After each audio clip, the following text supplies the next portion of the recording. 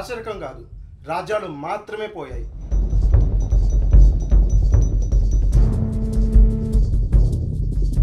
తన దగ్గర కావలసినంత డబ్బు ఉంది బలం ఉంది బలగం ఉంది. పదికి వందకి భజన చేసే భజన బృందం ఉంది.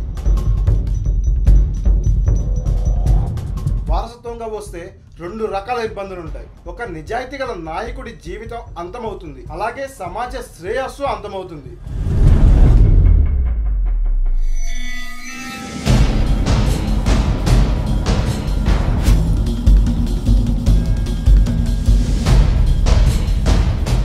రాచరికం కాదు. రాజ్యాలు మాత్రమే పోయాయి. రాచరికం నీడన బానిసత్వం మరింత బలపడుతుంది. ఏంటి? నా మాటలు కొమ్మది సంస్కృతంలో ఏమైనా తిడుతున్నట్టయితే అనిపించట్లేదు కదా?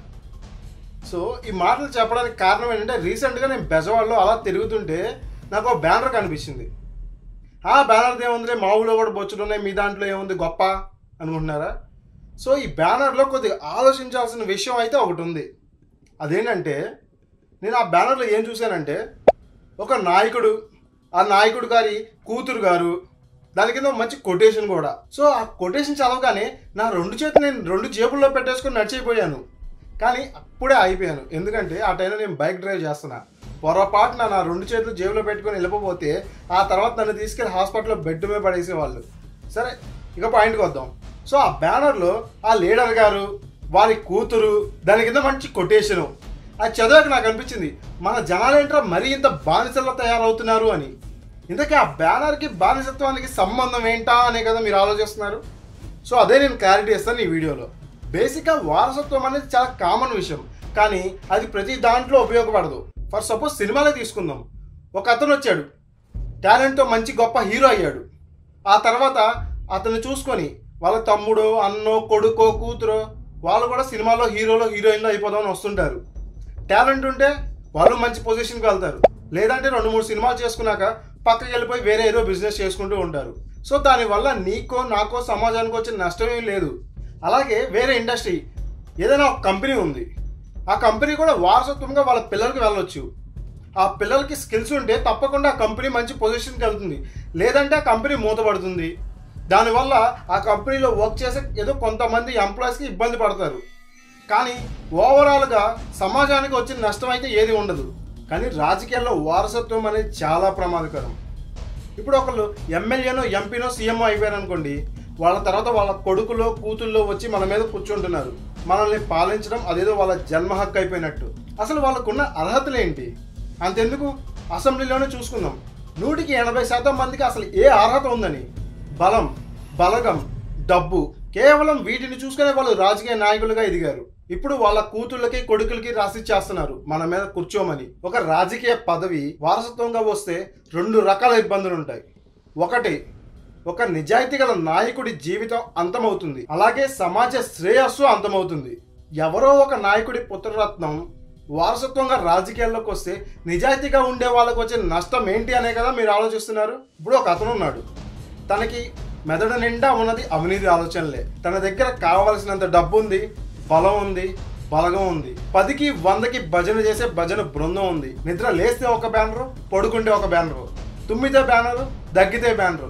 ఇలా ప్రతి దానికి భజన చేసే భజనల బ్యాచ్ కూడా బాగా ఉంది. ఇంకా అలాంటి వాళ్ళు ఉన్న ప్రాంతంలో నిజాయితీగా ప్రజలకి ఏమన్నా చేద్దాం అనుకునే సామాన్యులు బతకగలరా? రాజకీయాల్లోకి వచ్చి నిలబడగలరా? ఒక మహావృక్షం కింద గడ్డి పోసేదా మొలుస్తుందా? మొలవదు. అలాగే ఇలాంటి వాళ్ళు ఉన్న ఏరియాలో నిజాయితీగా ఉండే సామాన్యులు రాజకీయాల్లోకి వచ్చి ప్రజలకి మంచి చేసే అవకాశం దొరుకుతుందా? అంతెందుకు? అవినీతిపరుడైన నాయకుడు ఉన్న పార్టీలోనే ఎవరో ఒకరిలో ఇద్దరు నిజాయితీ ఉన్న నాయకులు ఉండొచ్చు. ఇలా అవినీతి నాయకులు తర్వాత వాళ్ళ వారసులు ఉంటే నిజాయితీ ఉన్న ఆశావహుల పరిస్థితి ఏంటి? ఆశావహులారా ఒక్కసారి ఆలోచించుకోండి. మీరు చేసే భజన మీ నాయకుల వారసులకు ఎంత ఉపయోగపడుతుందో మీ పతనానికి కూడా అంతే కారణమవుతుంది. సో ఇప్పుడు రెండో పాయింట్ గురించి మాట్లాడుకుందాం. సో ఈ వారసుల వల్ల సమాజానికి వచ్చే నష్టం ఏంటి? కనీస అవగాహన లేకుండా కేవలం అధికార కాంక్ష డబ్బు మీద ఉన్న ప్రేమతో వాళ్ళ తండ్రులు మామల బొమ్మలు పెట్టేసుకొని రాష్ట్రాన్ని ఎలా సంఖ నాకిచ్చేశారు? ఇటు చూసుకుంటే రాష్ట్రంలో అభివృద్ధి శూన్యం. అప్పులు మాత్రం వేల కోట్లలోనే ఉంది. జాబ్ కావాలంటే పక్క రాష్ట్రానికి వెళ్ళాలి. మంచి విద్య కావాలంటే పక్క రాష్ట్రానికే వెళ్ళాలి.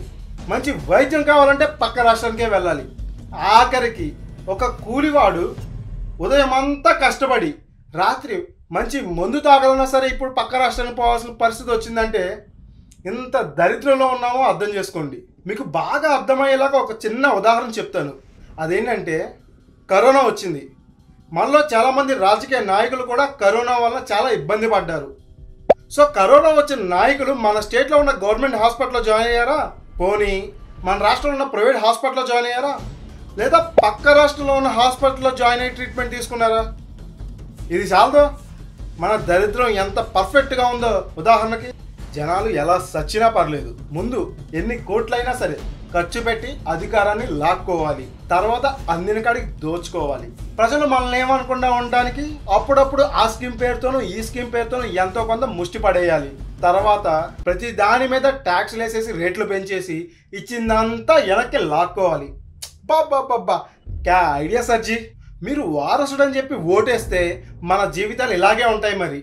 సో ఫైనల్గా నేను చెప్పొచ్చేది ఏంటంటే మీరు ఒక వారసుడిని ఫాలో అవ్వాలన్నా లేదా వారసుడికి అధికారం ఇవ్వాలి అన్నా ఓటేసే ముందు అసలు వాడి బ్యాక్గ్రౌండ్ ఏంటి? వాడి నీతిపరుడా అవినీతిపరుడా? మంచి చేస్తాడా చేయడా? కనీసం వాడు సంపాదించింది ఏ రోజైనా పేదవాడికి ఒక్క రూపాయి సాయం చేశాడా లేదా? ఇలాంటివన్నీ ఆలోచిస్తే ఆలోచించి ఓటేస్తే మన జీవితాలు బాగుంటాయి మన నెక్స్ట్ జనరేషన్ బాగుంటుంది. ఇదంతా మనకి ఎందుకు రాబాయ్ గుడ్డెద్దెల్లి చేలో పడ్డట్టు వందకి రెండు వందలకి ఎవడో వారసుడు వచ్చాడు డబ్బు ఇచ్చాడు కదా అని చెప్పి ఓటేస్తే ఇదిగో మీ నాయకులు బాగానే ఉంటారు. వాళ్ళ కొడుకులు కూతుళ్ళు కూడా బాగానే ఉంటారు. కానీ మనమే మన జనరేషను మన నెక్స్ట్ జనరేషన్ కలిసి ఇంట్లో చెక్క భజన చేసుకోవాలి. అర్థమైంది కదా? చెక్క భజన